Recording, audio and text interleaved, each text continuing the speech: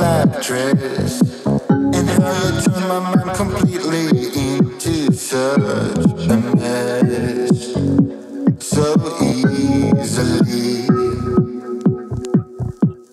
And it really came as no surprise. You look beyond comparing